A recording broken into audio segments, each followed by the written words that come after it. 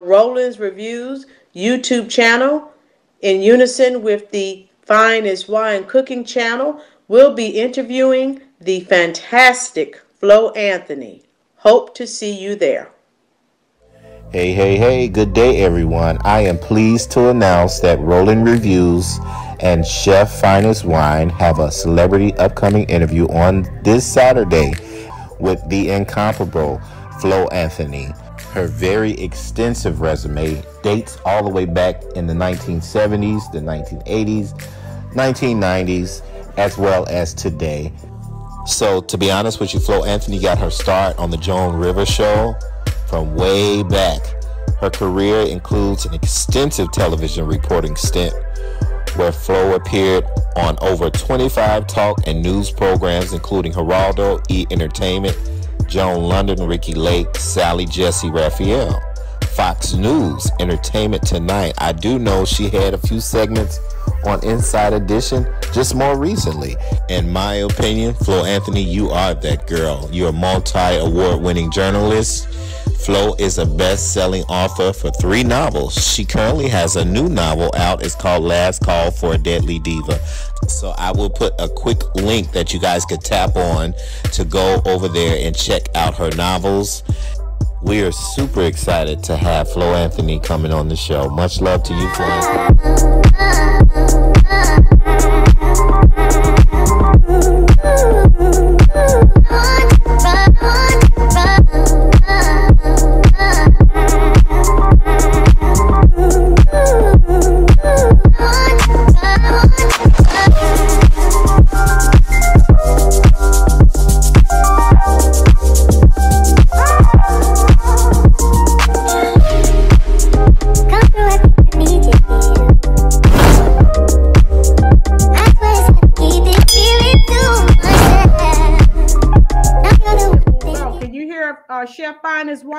Hi, Flo. How are you? I hear him a little better. How are you? Fine I'm well. yourself? I'm well. Are you staying safe up there in New York City, Flo? Is it what? Are you staying safe up in New York City? Oh yeah, I'm inside. It's pretty cold out there. Oh wow. Yeah. This, uh well, uh, you know, I've had a few conversations with you, and I've told you I have followed your career forever. Thank you. Um, I have watched you on, um, you know, headline news with Nancy Grace, uh, Maury Povich, Sally Jessy. Raphael. I never did Maury's show. Now that's the one I never did. Wait a second. You know, I take that back. I did do Maury. Yeah, I keep did. forgetting that. Yeah, because he wanted me to hook him up with OJ Simpson to golf. he did because they were trying to get him on the show. So I take that back. I did used to do Maury. You have been on everything. Yeah. I agree. I agree. I have watched you forever, and we thank you for everything you've done for opening the doors, you know, for other African Americans, you know, in your field. Um, again, uh, I was going back looking at some of the old clips, and I'm like, oh wow. I, you know, I was I was looking at you in high school, college, still looking at you. Okay, so uh, thank you, kudos to you for everything that you've done, uh, opening the doors that you have opened. And so my partner and I wanted to uh, interview you and and talk about your life, your career, everything. And all we want to do, we want to show you love and adulation for everything that you've done. Okay. Well, thank you so much. Yes, yes. A part of that love is last call. Everybody has my book but me. I don't have it in front of me. That's terrible. Y'all go get. Well, thank you. I'm so very excited over uh Last Call for Deadly Diva. Uh, I think it's going to be uh, in my last book about this set of characters uh, Valerie, the black gossip columnist, uh, her friend Rome, who's a former uh, NFL um, Hall of Famer, mm. uh, turned a private investigator, but now runs the security for Dumas Electronics. Her son, her um, stepson, Vance Dumas, a black jockey that now has an all black polo team called the Dumas Diamonds Club. And um, the love of her life that after she's been married to Victor Dumas and he died very shortly after they got married, uh, she had just run back into the love of her life from college.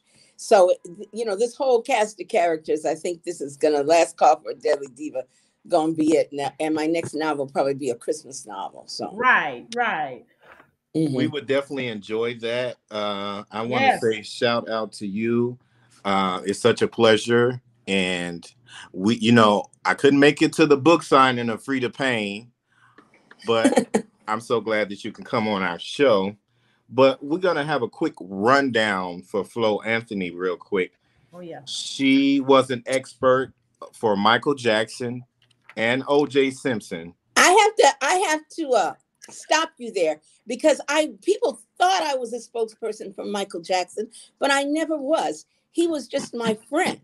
And I couldn't let him go out the way they were trying to take him out. Right. Oh yeah. Mm-hmm. Um so uh, for that reason i just felt it was my duty to stick up for him because i knew him and i never thought he would hurt a child right uh it, you know it didn't uh, helped my career a lot. I kind of got blackballed. I always felt between him and then also um, taking up for OJ Simpson. Uh, that combination uh, stopped me from getting my own talk show, but it's okay because life still went on. I still have a career. It's booming once again, and and uh, well, it never stopped. But the the uh, TV portion of it where you would have thought I would have eventually gotten my own show. And that didn't happen. I used to years ago have a cable show here in New York called Flo's Place.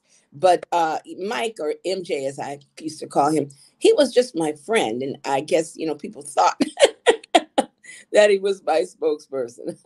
I was his spokesperson. Either way, I mean, it's a good thing that you hmm. showed your loyalty to him oh, yeah. by just protecting yes. him. Always you protect Right, right you know. Because and at that time, yeah. Do you still maintain the relationship with the Jacksons?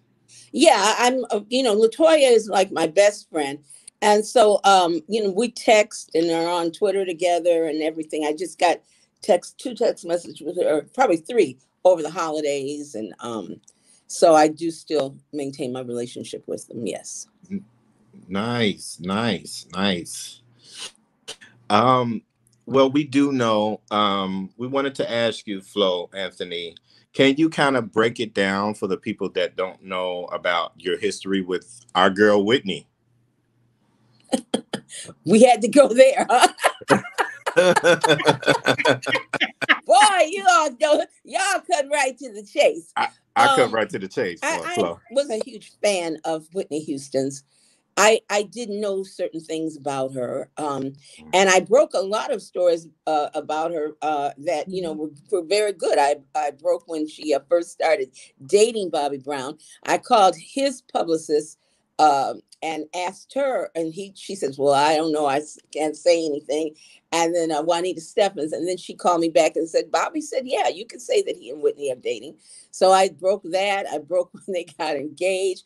I broke when uh, Bobbi Kristina, may she also rest in peace, was born. Yeah. And, and that was kind of uh, funny because Bobby actually told another friend of mine, um, uh, Dennis Thomas, who just recently passed away, the uh, the saxophone player for Kool and the Gang. He right. told him that Whitney was pregnant, and his wife is like my sister. She told me.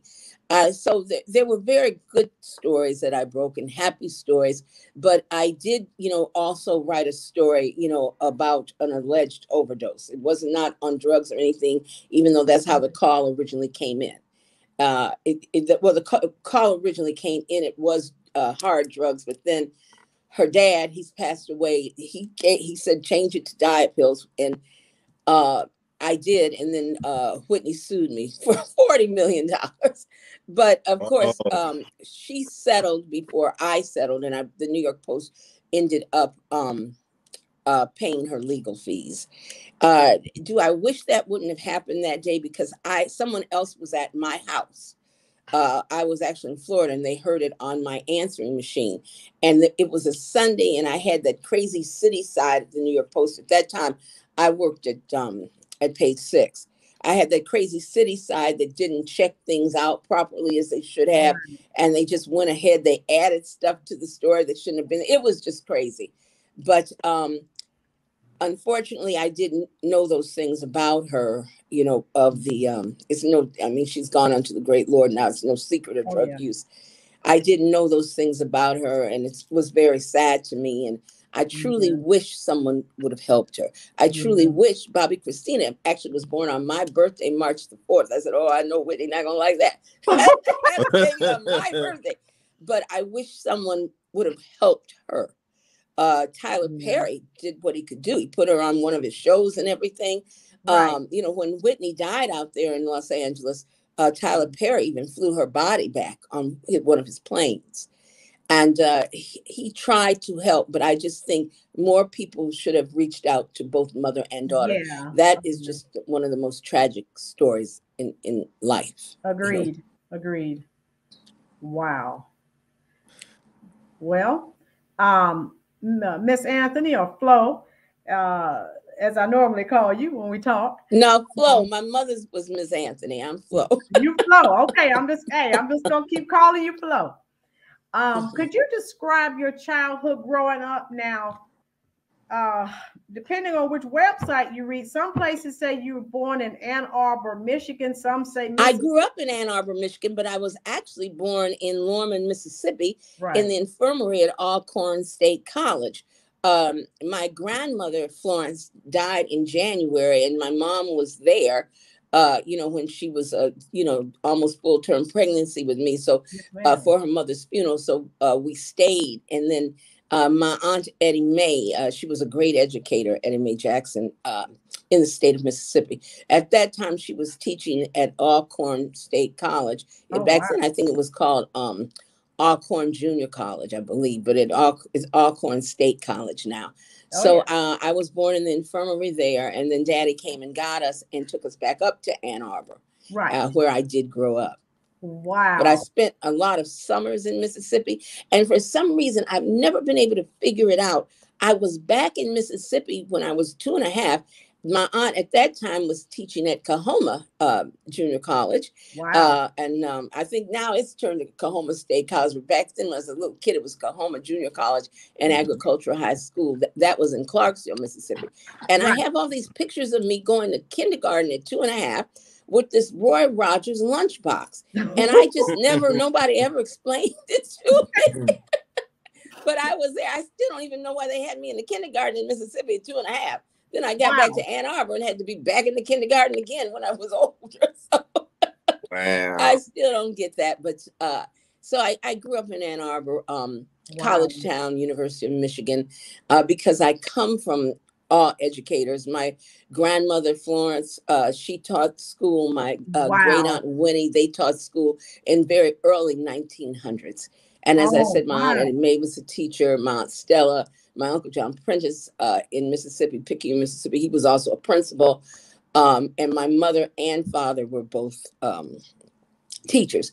So oh. I uh, I grew up in a world of education in a uh, college city, but I chose not to go to the University of Michigan. Now, this is going to sound crazy. It's not racist because, you know, I got friends of all colors. Oh, yeah. But I really had to go to HBCU because I've been in Ann Arbor and I I was running from white people. but I just needed my own culture after right, being right. in Ann Arbor all that time. And you know, I experienced wonderful friendships uh, with white kids, and they're still all my friends on Facebook and everything but yeah. I just wanted to, for you know we were coming through that whole Black Power movement and everything, and I wanted to be at HBCU. Plus, you know, I'm third generation HBCU. My um wow. my grandmother and great aunt Winnie they went to um Tougaloo College. Uh, Aunt May May went to Tougaloo College. Uh, Aunt Stella went to Tougaloo College. Uh, Uncle John Prentice went to Prairie View. Or what? You know, Wiley or Prairie, one of those. I always get confused. My mother went to uh, Rust College in Holly Springs, Mississippi, and my dad attended Tougaloo, but he actually graduated from the University of Michigan. So I said, you know what? I'm going to HBCU. Wow. I'm I'm out of here. and I left Ann Arbor and never looked back. I was I wow. lived after I got out of college. I lived in Ann Arbor one year, and I came on back to New York City. I just, you know, it just was not it was not a town for me. Right. Uh, I broke a lot of barriers though in Ann Arbor. I was the um, first uh, black kid in the uh, Ann Arbor Civic Ballet, uh, the first black kid in Ann Arbor Junior Theater. Uh, I was the first black cheerleader at Ann Arbor Huron High.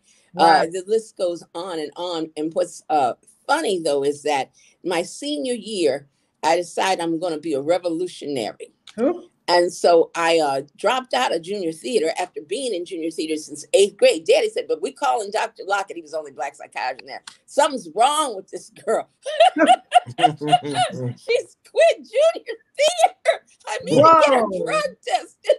But I just, I just didn't want to finish out the year uh, being in junior theater anymore because I was also in theater guild at school, radio guild, uh, cheerleaders. It was a lot going on, and I just didn't feel like um, doing those two major large plays. Right. And plus, as I said, I was a revolutionary then. So, so you didn't want to with that the rich tradition in your family of educators when you were a child, and you know you're thinking about what I want to do when I grow up. It, you never wanted to be an educator. Heavens no. I ran so far from school teaching, I didn't know what to do. However, I oh. did teach school for a while because you know you can I wanted to be an actress. I originally wanted to be a doctor, but I was not smart enough to be a doctor. I'm being very honest. I was not. I had to take biology over again. In fact, I had to go to summer school for it when I was in the 10th grade. Right. So um I was not smart enough to be a doctor. I soon learned my limitations, even though my dad said, if you can uh, memorize all those lines with all those plays, you ought to be able to memorize math and science. Right. But it just didn't, it was not me. It just wasn't. Right. So um, I majored in fine arts and, uh, you know, I, I, wanted to be an actress from when I was a little kid after I switched up from the uh, doctor ambitions. Right. Who was your greatest inspiration? Huh? Who was your greatest inspiration since you wanted to be an actress? Because there weren't a lot. Um, well, back then I met Ruby Dee because she came to um, Michigan to do a play in the summer for at the Ypsilanti Greek Theater, and her kids Nora and Guy Davis they went out to Homestead Acres Theater Camp with me. And so, you know, I became pen pals and everything with Nora when they came back to New Rochelle. And actually, I sometimes I use this little stupid name. I had this other name. It was called Destiny Rochelle, and the Rochelle was for New Rochelle because the Dick Van Dyke Show was in New Rochelle. And then I met, you know, the uh, the Davises and Ruby Dee and Ruby Dee and Ossie Davis and their kids, and they lived in New Rochelle. So that was my little pen name, Destiny Rochelle. Every once in a while, I still use it if I'm trying to, you know, not let people know it's me. But um, but uh, I guess uh, Ruby Dee started as my um, first inspiration as an actress because she was the first actress, you know, real actress, working mm-hmm. actress that I ever met. And um, uh, from there on out, you know, I grew to like other people a lot. But you know, when I was growing up, you just I think first you had Diahann Carroll on television. Yeah. Uh, you had uh, oh my, we were talking about this woman the other day. She was on um. Oh, I could see if She was on uh, one of these shows. It'll come to me in a minute. Uh, but uh, then I saw um, Marilyn McCoo on a show uh, once and she was acting, but we didn't have role models like kids have today. You know, when I was coming up uh, in, you know, 60s, 70s, we didn't have that. Um, so well, it would have had to have been Ruby Dee. Yeah. You have been a role model for a lot of women, you know, men, because you were the first starting black African American woman on a lot of the shows and things like that. I did read that, but I also wanted to know is it true that an opportunity was potentially presented to you to be on the View show, the show now that we call The View?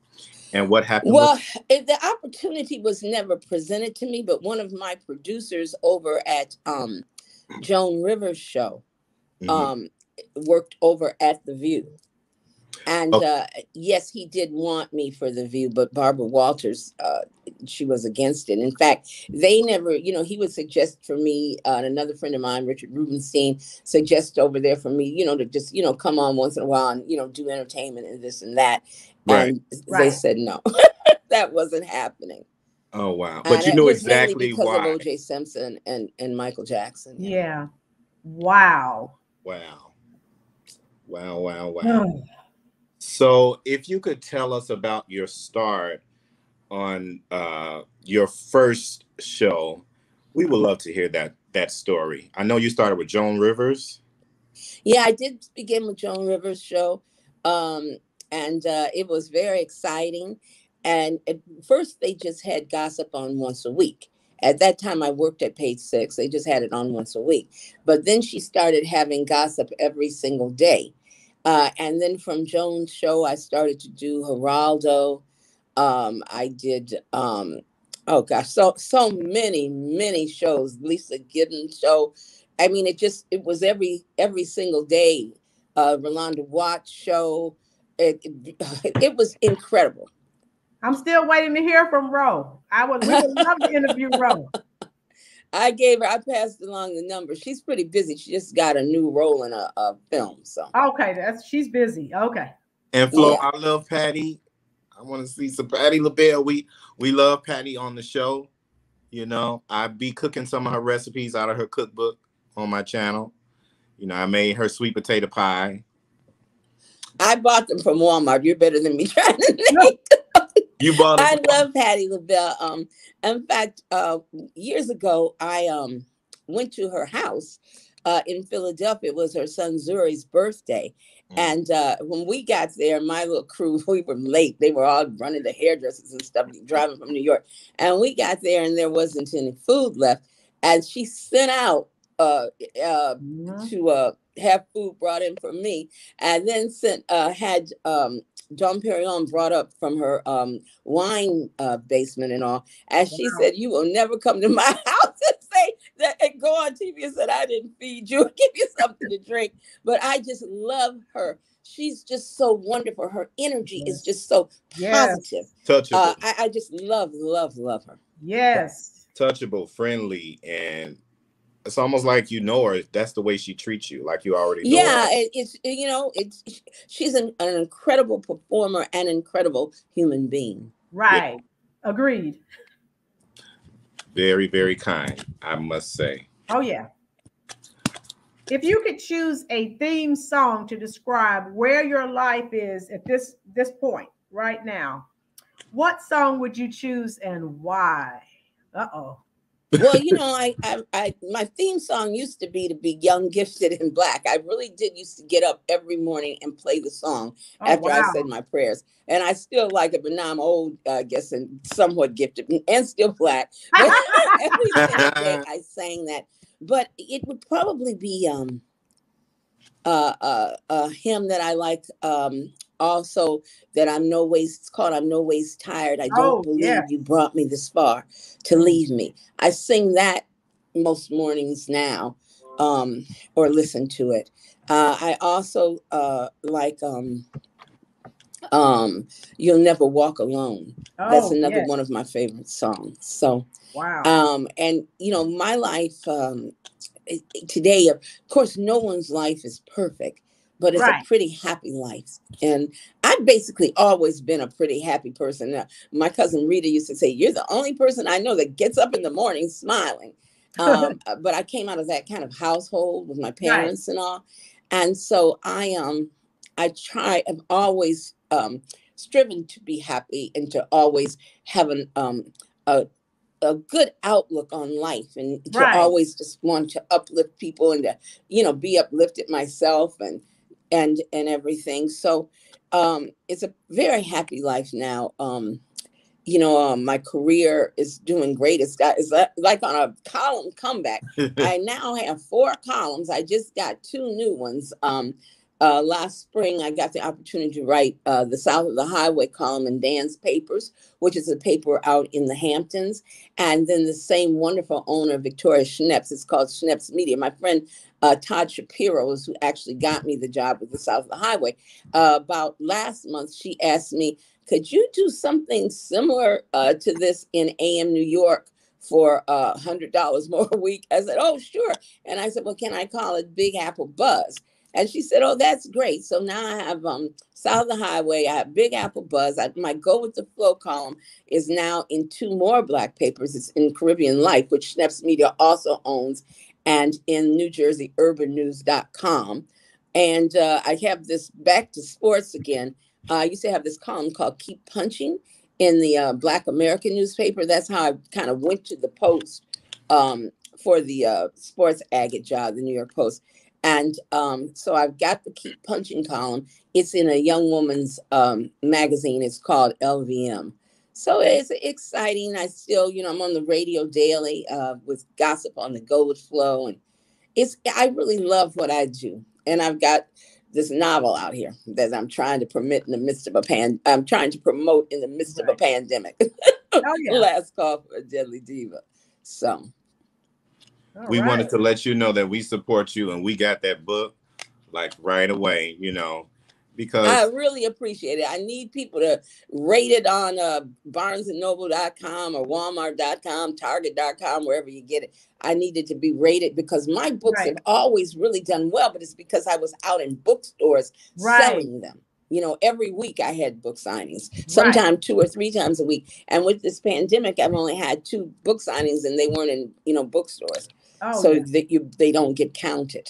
And I right. just want to throw that out there. She's a three-time bestseller book. So just want to make sure I threw that out there as well. That's right. Thank you. Yes. Now, since you said uh, you're you have an illustrious career so far as your relatives are concerned in education, I want to know what subjects were your favorite in school and who was your favorite teacher?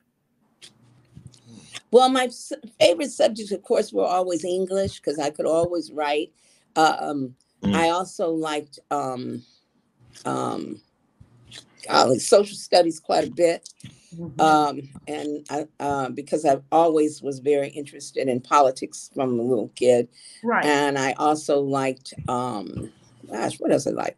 We, we already know I didn't like math and science, and not yeah. too much left. Social studies and because I've been a cheerleader since I was in the 10th grade, I didn't ever have to take gym. You know, even when I got to Howard, I was a cheerleader the first year there. So you right. don't have to take gym. So I never in high school had to take gym. Oh wow. Nice. Um, I wanted to ask you, I do know that you worked with Geraldo. And uh, there was a most historical like episode on there where there was some type of altercation um, and I understand that it was someone had gotten kind of physical with you. Could you tell us about that? Well, they didn't get physical. Um, it was with a Ku Klux Klansman. Mm-hmm. Okay. And in fact, um, my, my cousins called me up. They said, "You know, coming back. You can't be on national TV fighting with a Ku Klux Klansman in his full regalia. I mean, he had the hat, the everything. We are not in New York to protect you." Oh but my I was goodness. so upset. It was about O.J. Simpson. He called. He said that he was glad that that um uh, and I'm just gonna put out what he said. That nigger loving bitch who had those uh, what did he call those kids? Some kind of gremlins. It was horrible. And right. I said, you better take that back. yeah, yeah. You take yeah. that back, or I might come down there and punch you. And then, then he said, "You see, nigger bitches are violent." oh wait, what? Oh yeah, on national television. Whoa. I almost fainted. I I was I couldn't believe I can't remember what he called them mongrel kids or something. Whatever he said was horrible. Yeah. It was just horrible. Right. And I, I could first of all, I just still don't understand that Geraldo had the man sitting up there with us looking back on it that was crazy. wow. Wow. It was looking back on it, that was nuts. But you know, that's how I got my first book deal with the Keeping Secrets, Telling Lies. It came from Dove Books originally with this guy, Michael Viner. And right. he used to tell me off on Geraldo. I mean, it was just awful. I mean, he was just so my cousins called me again. They said, Do you have this man's number? Because we really feel we need to call him up. And so one day my phone rang and I said, hello. He said, hi, Flo, this is Michael Viner. I said, oh God, are you coming to New York to kill me? and he said, no, that's all show business. He said, I actually really like you and admire your guts, and and and I just do. I said, Oh, okay. So then he said, I'm doing a series of um, African American mystery books, and I would like you to write the entertainment one. Wow. And so that's how uh, Keeping Secrets, Telling Lies came about. Wow, wow, wow. Whoa. What brought on Last Call for Deadly Diva? What inspired you to do this? Uh, very well. Um, Wahida Clark is my publisher. Wahida Clark presents, and I was last year of um, um, well, I guess it was probably like uh, last September or around in there.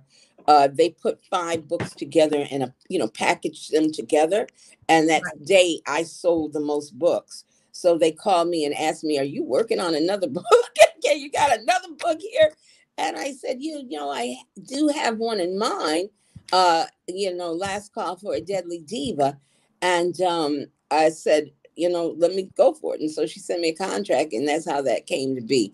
And um, I, I don't know if it's because pandemic, and then I, you know, I moved last year in the middle of the pandemic. I actually moved where I am now, December 28th of 2020, going into 2021. Right. So that book was slow. Usually my books just mm-hmm. kind of flow out of me. I go to sleep dreaming about the characters. And when the book is finished writing, I miss the characters so much. But Last Call for a Deadly Diva was moving slow. It just wasn't clicking. And then all of a sudden, uh, we, we have uh, they have weekly editorial meetings. I don't always take part in them um, uh, by by Zoom. One day, Wahida said, "You know, some of you all need to stop talking so much and keep writing." I knew she was talking to me because I was late, and it's the first time I've ever right. been late. So then I got on the good foot, and I and I pumped the rest of it on out. Uh, but you know, it, it came to me as I was writing. I did not have a a total outline for that. So um, it came to me as I was writing, but it's right. got uh, the characters in Last Call for Deadly Diva, the new ones I added. I mean, they're like really some characters. they are. You know, I got these twin strippers and uh, uh, uh, dubious pasta, but she's a very good person underneath right. it all, and uh, it, it's a lot of fun. Sounds good, Flo. Um, what who are some of your favorite artists? Again, I know you know so many people because you've been in the business 40 years. So I can't quite, your, didn't quite hear you, Lynn, hon. Who are some of your favorite artists? Okay, well, we talked about Patti LaBelle. She's one. Uh, Wynton Marsalis, of course, the Jacksons, uh, mm-hmm. you know, all of them, Latoya and Michael, right. you know, my dear friends. And I, I know Jermaine pretty well too. Um, and I I also liked their father quite a bit and loved right. their mother.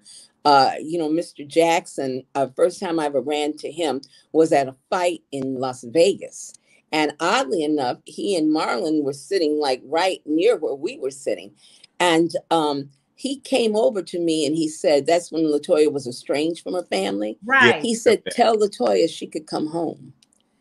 And oh, uh. I just thought that was, you know, it was it kind of surprised me and i said yeah okay i'll pass it along and so then when um latoya had problems with her husband jack a oh, physical oh, yeah. altercation her mother called me at the mm-hmm. new york mm-hmm. post and said she didn't even have latoya's phone number oh and wow. mrs jackson said to me i want to thank you for standing by her at least i can go to sleep at night and know she has one friend exactly and i just so their parents' perspective of what was going on and the dynamics of that family are just so different than right. people think it is. Exactly. You know, so uh, of course mm-hmm. them.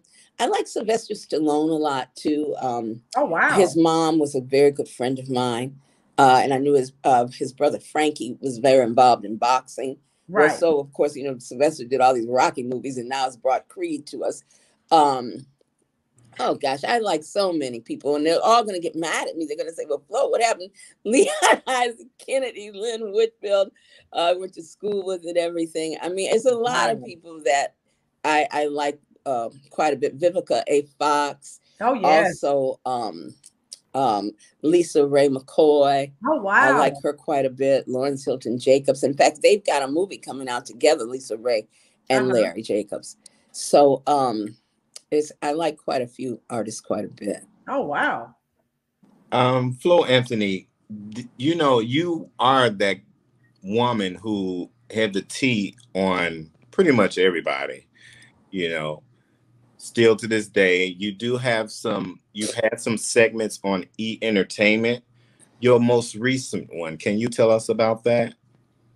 Um, I haven't done anything on E recently. I was doing some stuff for TV One and for um um uh TV One on Unsung and Life After. Oh, yeah. And I was doing some stuff um with um Entertainment Tonight. Oh, I did okay. something recently. And um most recently last week I did some stuff with um Cheryl Wills for uh New York One for her show uh, when of course, Sidney Poitier passed away. Right. But um, yeah, I really do enjoy doing TV, and it's interesting that they're starting to call me again. But I think part of it is I'm back in mainstream media with the, you know, AM New York and the Dan's papers and all. So, um, because I never had an agent or anything, I did all that television because people would read the stories I was writing and then have me come on and talk about them. And it's very different now because I have a friend uh, that was doing a particular show and they were saying, well, maybe I'll try to get you on that show. I said, yeah, I could use the $700. They said, well, where are you going to get $700? I said, isn't that what they pay you to be on the show? and he said, no. I said, no.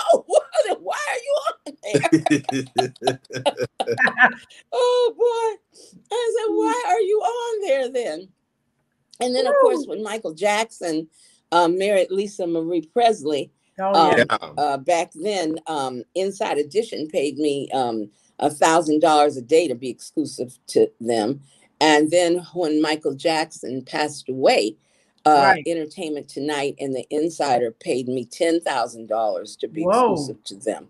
Nice. Uh, and I had Michael Jackson. I took him on Inside Edition years ago um, when he, he and Spike did the uh, "They Don't Really Care About Us" video. Right. And okay. uh, they paid me, uh, which was kind of a ripoff. They paid me $15,000, but I was like, oh my God, I'm rich, I'm rich. but that guy, that horrible guy that uh, did the interview with Mike, I can't even think of his name, did the interview with Mike where, where they saw Mike with the kid that poor, the kid that had cancer. Oh, um, and, yes. and that's how all those charges came against Martin Bashir is his name. Right. He got paid a hundred thousand dollars for that interview and uh, sold it to him. So you know there there's little differences going around here, but it doesn't matter uh, because um, yeah, it is sort of about the money, but at the same time, it's not about the money. and Michael Jackson was always so kind. Uh, when I asked him about doing the inside edition, he said, "You go ahead and negotiate with them, and whatever they pay you, you just take it." So, no. right, that's right. that's what happened there. Yeah.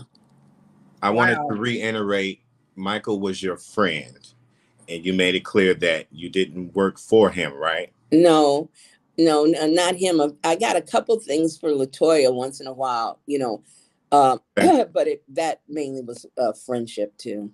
Right.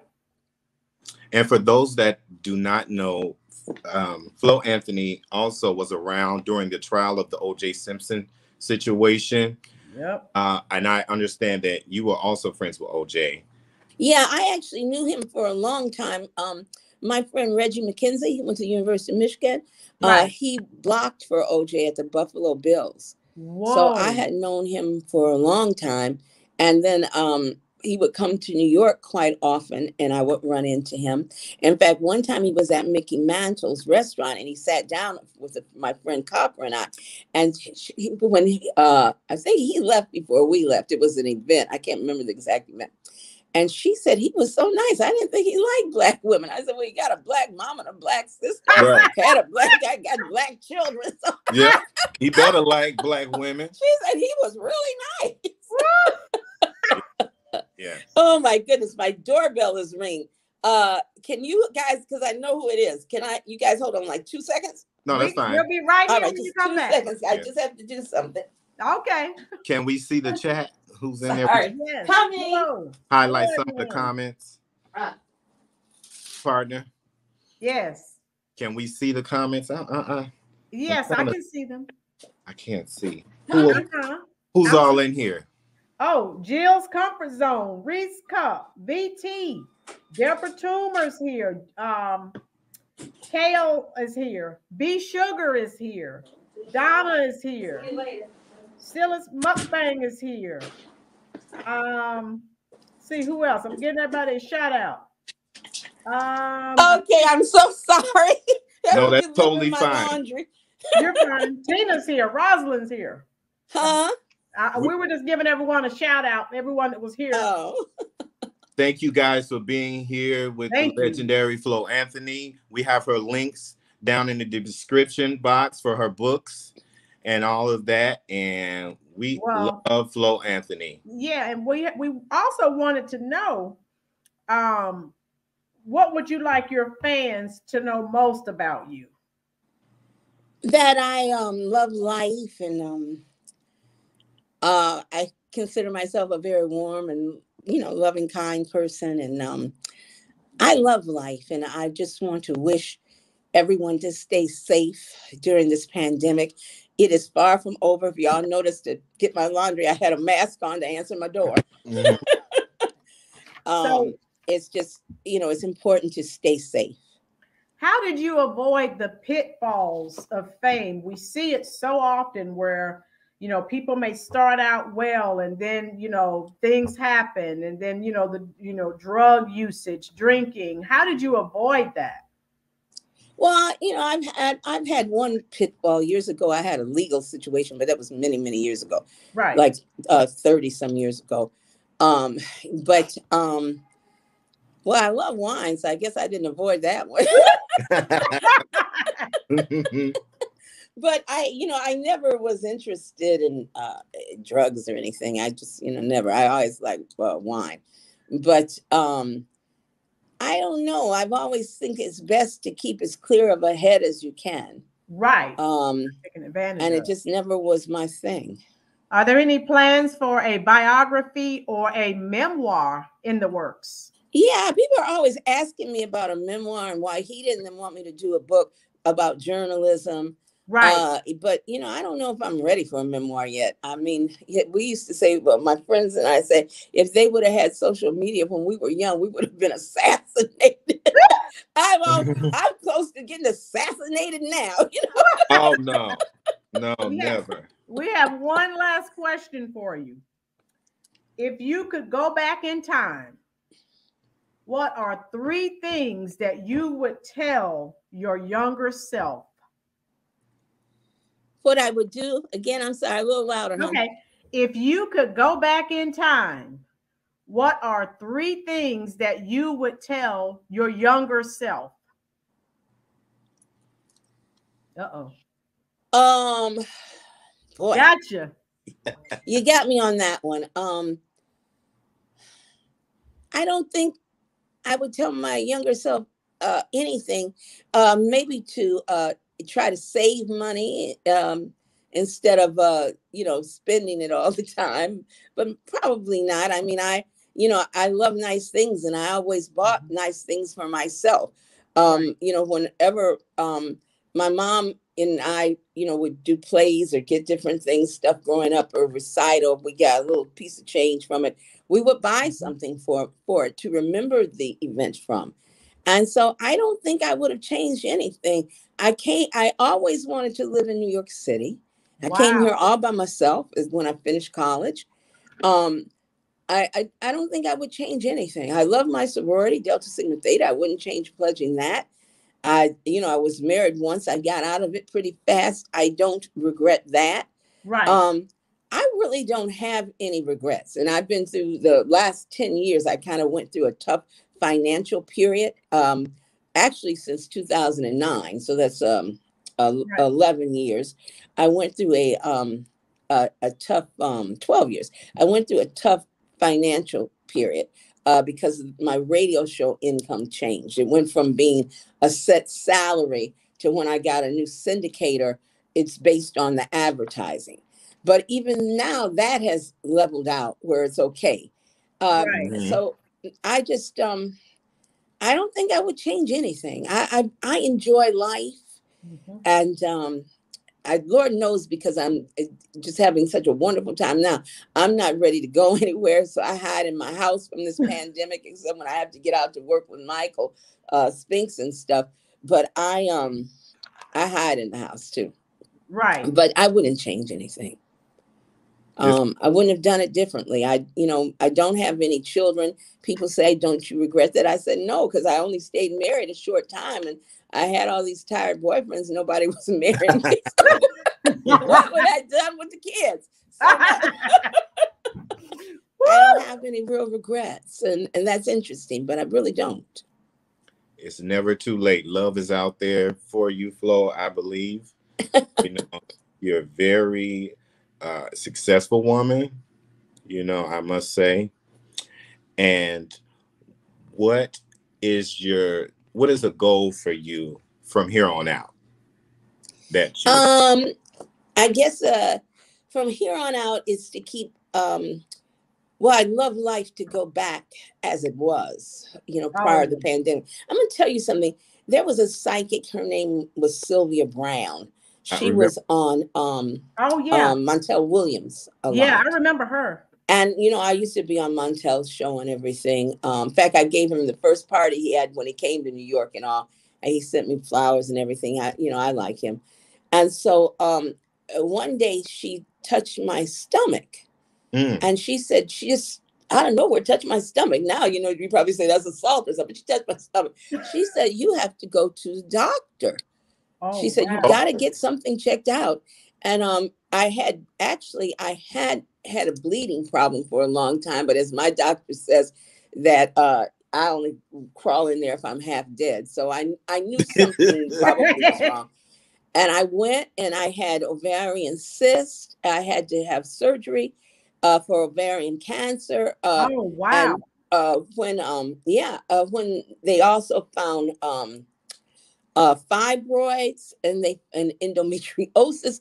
I was very very sick, and so she said, uh, wrote way back when that there was going to be a horrible viral disease, disease that affected the lungs, virus, and wow. it was going to come, but when it left, it was going to leave as mysteriously as yeah. it left. And she had the exact year, 2020, everything. Oh wow! I didn't know. Yeah, that. you serious? Way now.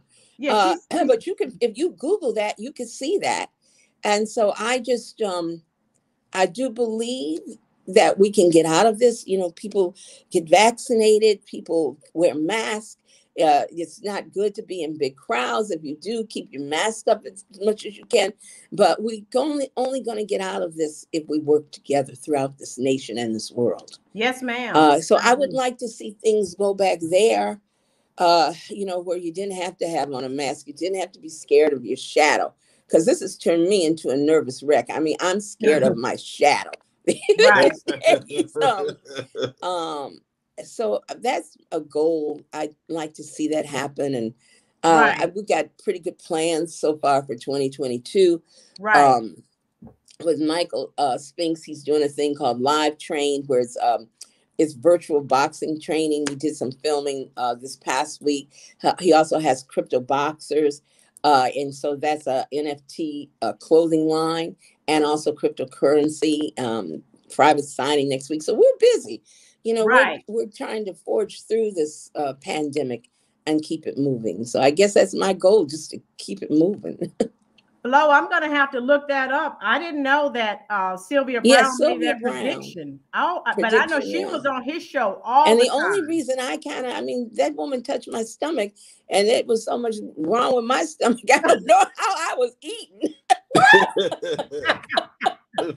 and first, she just looked at me and said all that. Did it wow. scare you when she told you that? Did it scare you? No, I did go to the doctor because, as I said, I wasn't um I was having uh, long um, menstrual periods, and so right. I, I mean, I knew something was going on, but I, you know, I counted it up to stress or something, you know. So. Oh wow. Mm-hmm. Well, I'm glad that you. Well, I really didn't go. I actually fell out at the New York Post. no way. no. They took me to the hospital. oh wow! So that's kind that kind of forced you to go. You that had to go. You to go. Wow. So Sylvia Browne was the real deal. Yeah, she was a real deal. She got into trouble with one prediction about she said that some child wasn't dead, and they later did find the child dead. Oh, but perhaps when she said it, maybe the child wasn't dead, you know, and then the yeah, person killed that. the poor baby. yeah. But well, she used I to help the police that. out a lot.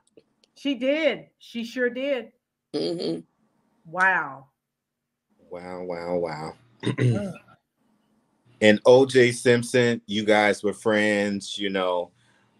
What would you say that was the hard part of seeing the whole trial situation? What what was so what was the hard parts of seeing that?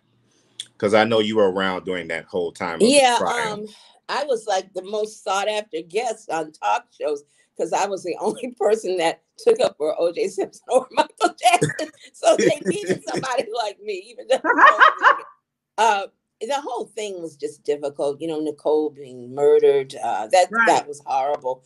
Uh, the whole thing was just very difficult when you look back upon it. Mm-hmm. And you know, I have not been able to get in touch with him uh, since he came out of jail. I wrote a letter uh, right. to the attorney. They didn't answer me. I left a message, but I've heard that he's not with that attorney anymore because I've been right. in Vegas several times.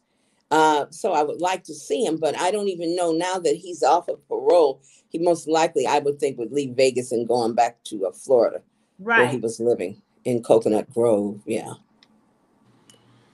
Yeah, he, you know, he always makes the headlines though, for sure. That he does. That he does. And he was even on Twitter um, talking about you know Antonio Brown and his theatrics at the Tampa Bay Jets. I've seen that. I've seen it. I've seen it. I did too. I'm an Antonio Brown fan because he's a great football player, and I like you know wacky people. So yeah, they're um, saying um, it I but like, we love I OJ like people though. that are a little different. but we love OJ. We love we love OJ Simpson too. Yeah, he appears to be a nice guy. Yeah. Um, I just misguided. You know, he needs some guidance. Right. Yeah. yeah. Right. Okay. Well, thank you, Flo Anthony, for coming on the show. And we want to appreciate everybody for being here. If you have some last questions for Flo Anthony in the chat, please don't be afraid to ask.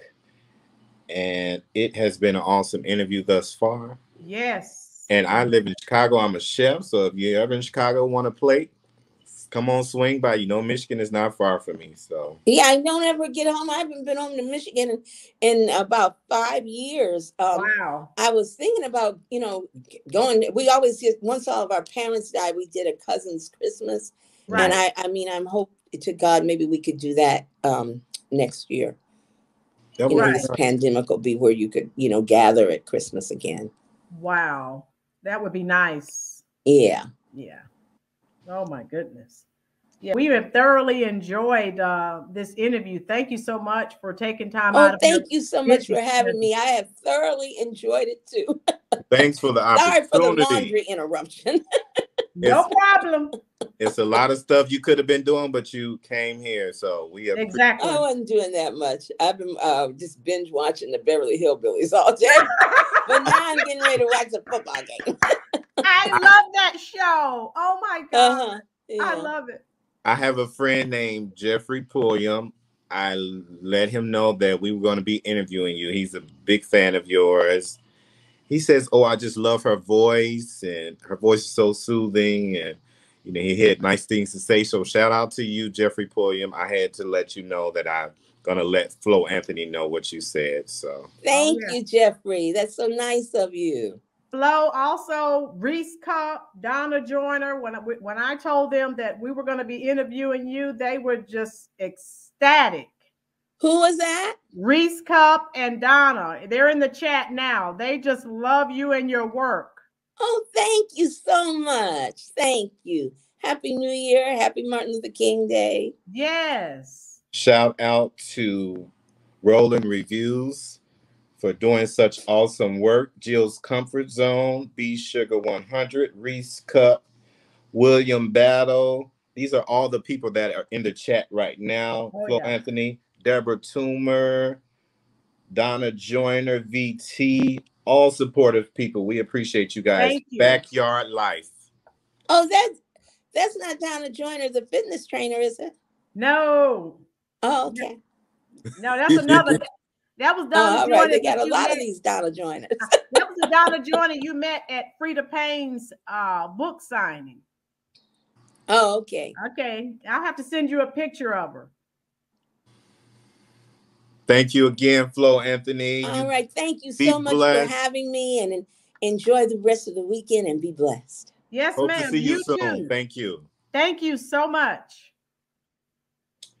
Yes, partner. All righty. Okay. Thank you guys. Share out the video, and we appreciate you guys for the dynamic duo, Chef Fineaswine and Rolynn's Reviews. And we are excited and we appreciate the support always, always, always. Okay. All right, partner. Love you. Okay. Love you too. All right. We'll talk later. All right. Uh, thanks everyone for uh, supporting. Again, Chef Fineaswine, as well as myself, Rolynn's Reviews. We we love you. We thank you. Um, and stay tuned because we're working on uh, doing something on Monday to honor Dr. Uh, Martin Luther King Jr. So stay tuned. You'll see a video pop up letting you know what it's going to be about and what we're going to be doing. Okay. So please enjoy the rest of your day. Remain safe. And we will see you in a couple of days. Right. Holla back. See y'all later.